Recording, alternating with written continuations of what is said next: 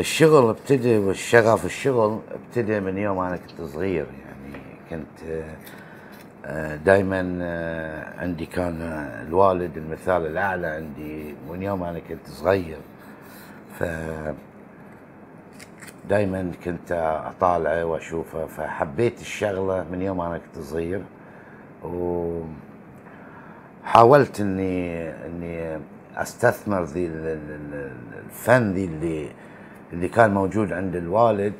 هواية أتقن واحترف صنعها ليصل إلى صناعة الهدايا الملكية الفاخرة.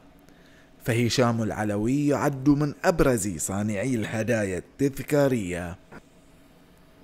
آه، اليوم دائما نشتغل إحنا آه، إحنا نعتبر هدايانا نعتبرها تاريخ نعتبرها آه، بمثابة سفير الدولة. يعني إحنا هدايانا تتكلم عن التاريخ وتتكلم عن المواضيع المهمة في في في في الاحتفال أو في المراسم الرسمية. يتميز العلوي في عالم الهدايا التذكارية بالجودة والإتقان. كنت محظوظ أن أسوي أول شغلة حق صاحب الجلالة. آه، كان سيف حرس الشرف. فدائما إحنا نشتغل هالأشغال حق ملوك الخليج أو ملوك أو رؤساء دول ثانية.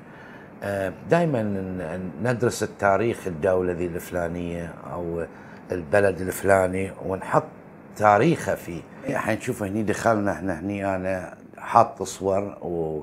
والأعمال اللي كلها نفذناها. آه معظمها هاي الأعمال تنفذت. كل قطعة لها تاريخ ولها حكاية يعني.